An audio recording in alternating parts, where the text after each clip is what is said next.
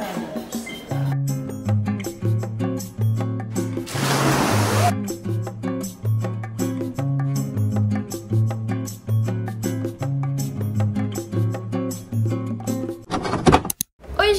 Bem com vocês? No vídeo de hoje vim atualizar vocês da minha vida, fofocas, vim trazer fofocas, entendeu? Vocês são meus bestes e merecem continuação disso tudo. Então vou começar aqui atualizando. Pra quem não sabe, eu tava viajando, eu fui pra casa da minha amiga em Vila Velha, no Espírito Santo, e aí eu passei uns 25 dias lá, beleza.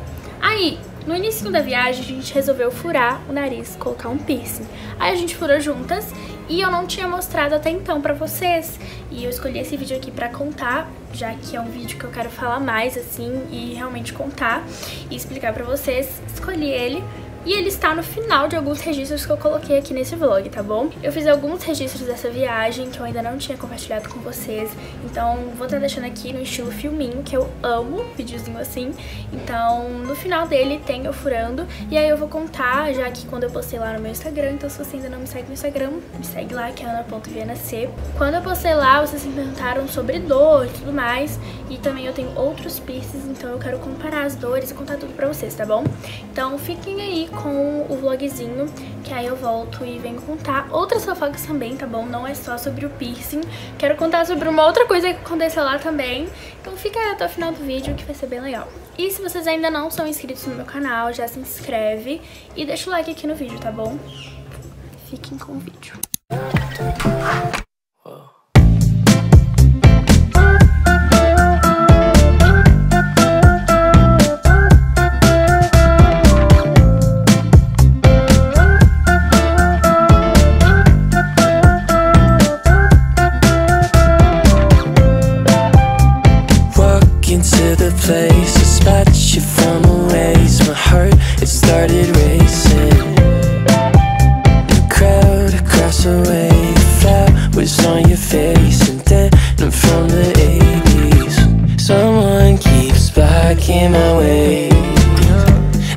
Deerfield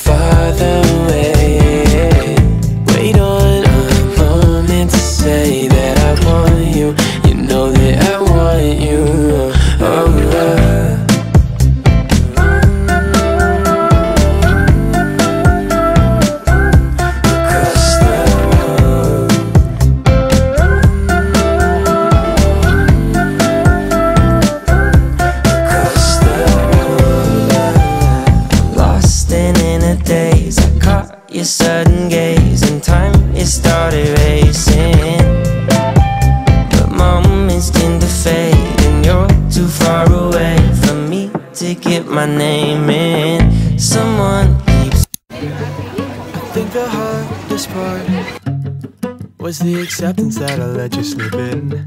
And maybe I could fall. Just try to remember who surrounded you from all the heaps of fallout new to war. Well, maybe I could give it to cause when you said it wasn't much.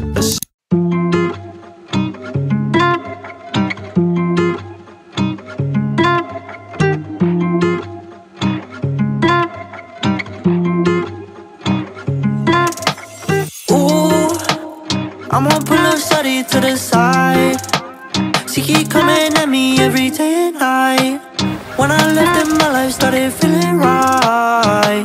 Yeah, yeah. Ooh, these days I do anything I like. Granted for this life every day and night. When I left, I told him I would get it right. Yeah, yeah. Break bread and break hearts. Don't get me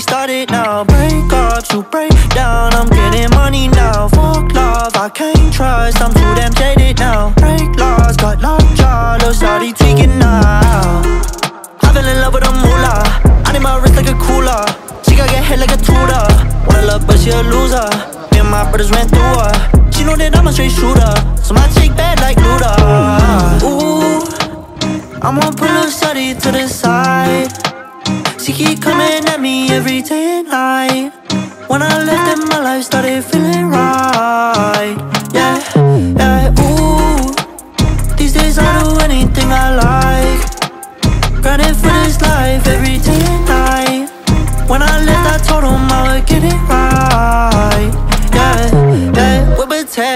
Off the fucking line. I got hella bands on me, fuck a sing along. They won't ever bang on me.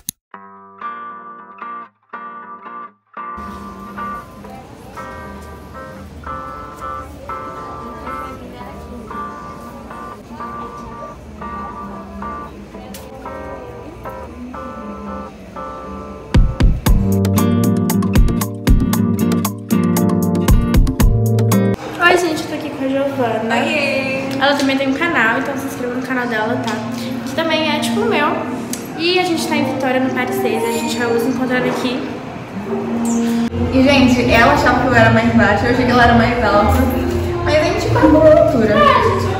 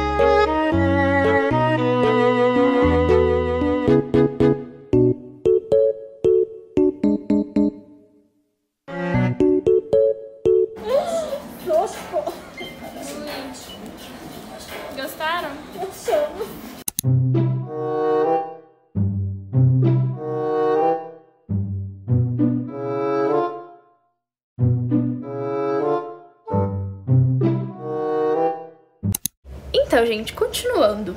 É, o piercing ficou assim, né? Já tinha mostrado pra vocês, atualizado sobre isso.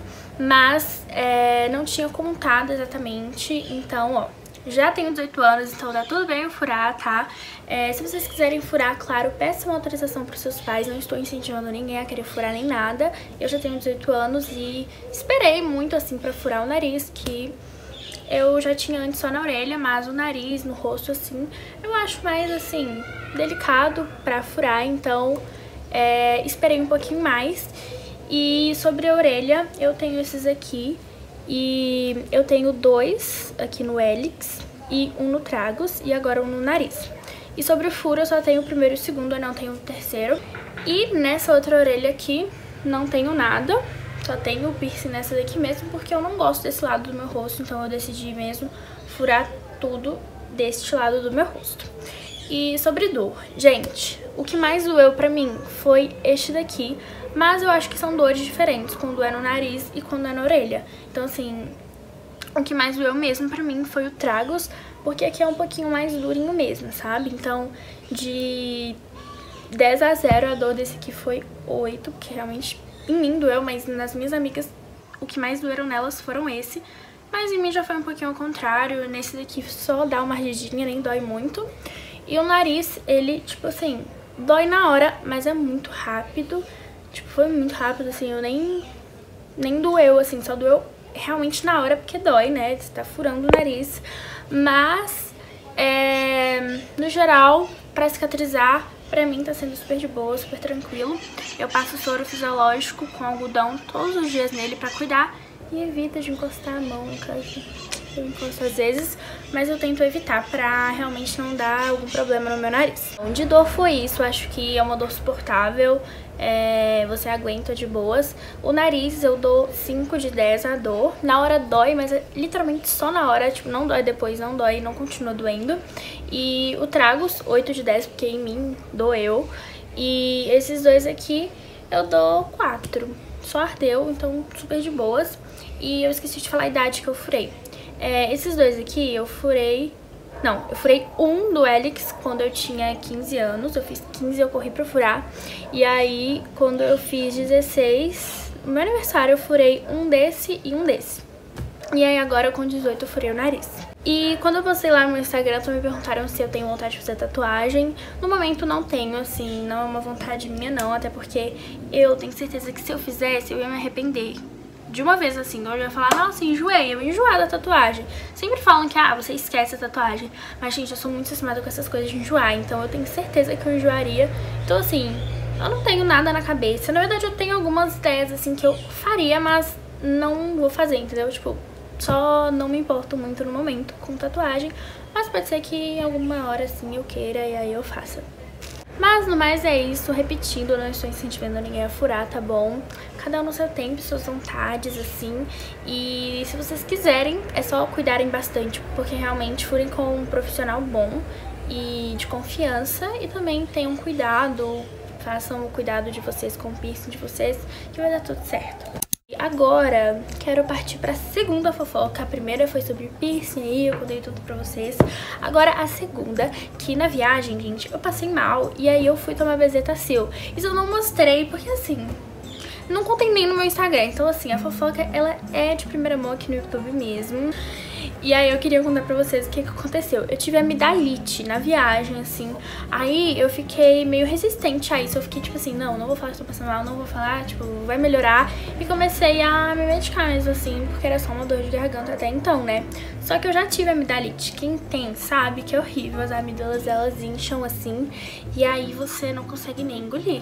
Aí chegou um dia que eu senti que eu não tava conseguindo engolir mais, assim. Tava doendo muito, assim, pra engolir. E aí eu fui no posto com a mãe da minha amiga, ela me levou lá, foi uma fofa comigo. E aí a gente foi pro posto.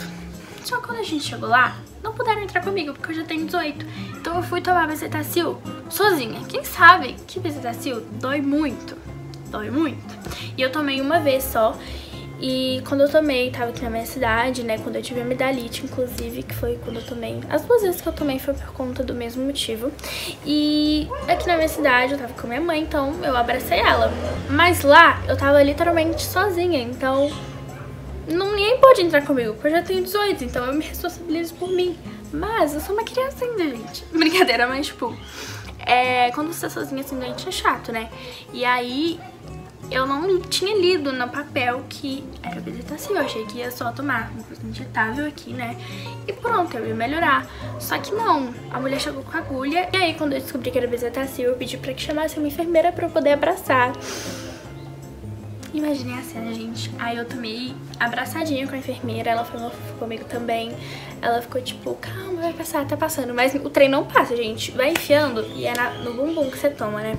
Aí vai enfiando a agulha e, tipo assim, o negócio não passa, você fica literalmente uns 10 segundos gritando de dor, mas santa bezetacil, porque o negócio melhora na hora.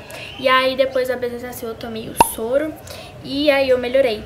Gente, juro, eu não mostrei isso nem no meu Instagram, mas que caos, juro. É, acontece, né, da gente passar mal assim, mas nunca tinha me ocorrido de ter que entrar lá, fazer os treinos tudo sozinha, porque quando acontece eu sempre tô com a minha mãe, aí... Mas lá não deixaram, não sei o que aconteceu, não deixaram ninguém entrar comigo. E aí foi uma experiência, gente, de ter que fazer isso sozinha. Mas foi a segunda fofoca que eu quis contar pra vocês. Eu vou até deixar uma foto, assim, da minha cara chorando quando eu tomei. Porque foi muito de surpresa, porque eu não sabia que ia ser é, essa injeção. Enfim, eu nem sei porque eu contei isso, mas eu quis contar pra vocês, gente. Vocês são meus bestes, eu já falei. E aí, do piercing foi isso, e da, da história de quando eu passei mal lá também foi isso. E espero que vocês tenham gostado dos registros que eu fiz nesse vídeo, ficaram bem legais, foi muito legal. E este é o último vídeo que eu faço sobre essa viagem. É, gravei alguns outros vídeos, se vocês ainda não viram. Vou deixar aqui nos cards pra vocês irem lá, que eles estão muito legais também. Vocês vão gostar, tenho certeza, tá bom? E é isso, se inscrevam no canal, me sigam lá no meu Instagram, que eu também trago algumas fofocas por lá, tá bom? Beijão!